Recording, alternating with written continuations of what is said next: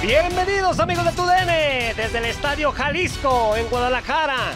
Los Leones Negros de la Universidad de Guadalajara se enfrentan a los Canarios del Atlético Morelia por la jornada 10 de este Grita México Apertura 2021 de la Liga BBVA Expansión MX. Su servidor Jorge Sánchez le da las gracias por acompañarnos a lo que esperemos sea un gran partido de fútbol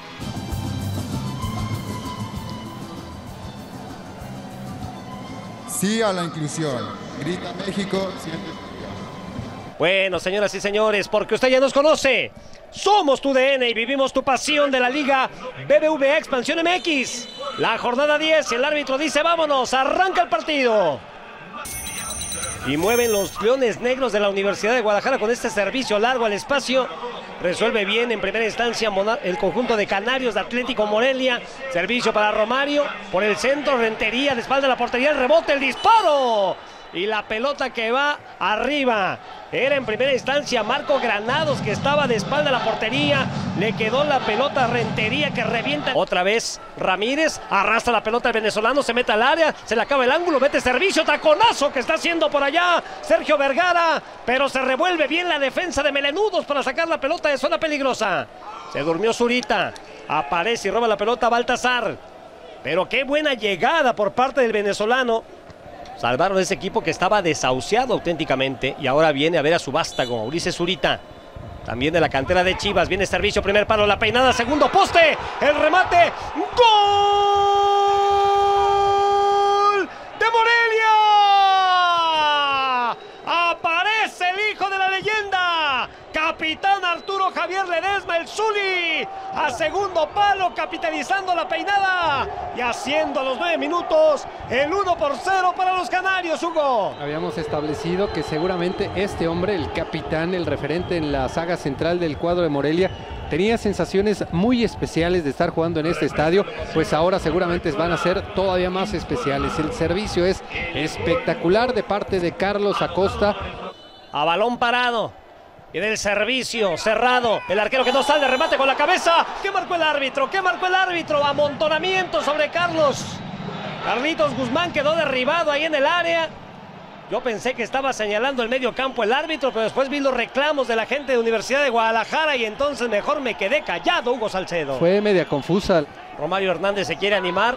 Ahí viene el servicio, un hombre derribado de Morelia. El árbitro dice juegue, el contrarremate y la pelota que se va desviada. El Potro Gutiérrez, campeón del mundo, ya se reportó y ve orgulloso. Aguántame tantito, Potro, porque viene Godínez. Servicio rebotado de Mario Trejo. Todavía los melenudos. Baltasar, el disparo. En dos tiempos, valiente, arriesgando el físico. Ramírez. Muy participativo, ¿eh? cosa que me da mucho gusto. Abrazo al buen Javi. Tripa Pérez, Tota Carvajal. Manuel Pérez de la Tripa. Choaquila Ramírez. Aguánteme tantito, que viene Romario Hernández dentro del área. Capitán Melenudo saca disparo que revienta el travesaño. Sería el tiempo y el espacio para sacar el disparo de pierna derecha. Le pega muy abajo a la pelota. Y ante el esfuerzo que hacía Santiago Ramírez, ese balón termina pegando ahí en el travesaño y se salva la gente de Canarios. Qué bien eh, Wilber Rentería en esa situación. Que se haya levantado y que encima siga jugando. Y sí. Carlos Gael acosta el recorte, saca disparo abajo y recuesta correctamente en la portería Pipe López. Pero Montes de Oca, José Luis, también, de las Chivas. Que al Wendy Mendizábal sus cuates, cuando viene el disparo, bote bravo. Y muy bien aparece Santiago Ramírez, pero Rentería se animó. Les decía que al Wendy, ahí a la interna de ese Cruz Azul bicampeón de Donacho Treyes, sus cuates le decían el pelón para que les pasara la pelota. Cuidado, balón que queda suelto, la posibilidad del disparo. ¡Gol! Otra vez se lo anularon. Y dice el árbitro, cuidado con los reclamos. la había prendido sabroso Marco Granados, es el segundo que le anulan al playera número 17 y no sé si gráficamente nos está diciendo el árbitro que había una mano. Sí, es eso lo que señala. Todavía con la pelota Granados buscando a Rentería. Devolución ahí para Villalobos, ya perdió la pelota, la recupera peleando fuerte por ese balón, ya lo tiene Villalobos. Apertura para la banda derecha. Ahí está Rentería tocando atrás el esférico. Va a venir el centro al área. El remate se va desviado y luego el contrarremate adentro. Gol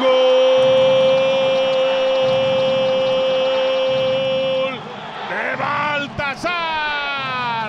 UDG. El juego se pone 1 a 1. Hugo Salcedo. 62 minutos ya. Villalobos.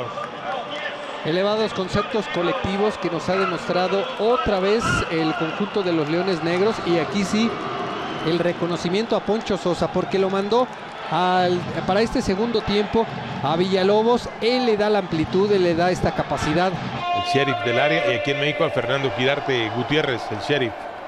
Saludos a Fernando Abrazo, que también suele ver mucho nuestras señor. transmisiones. ¿eh? Centro al área, remate al larguero.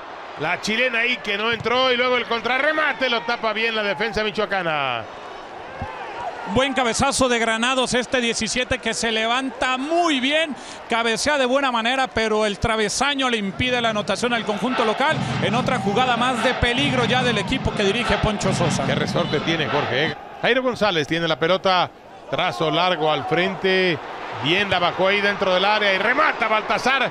Qué parada de Noé Santiago Ramírez. Recentro, pasó de largo ese balón. Será tiro de esquina para la UDG. Omar Aldeco, te escucho, se salvaron los canarios.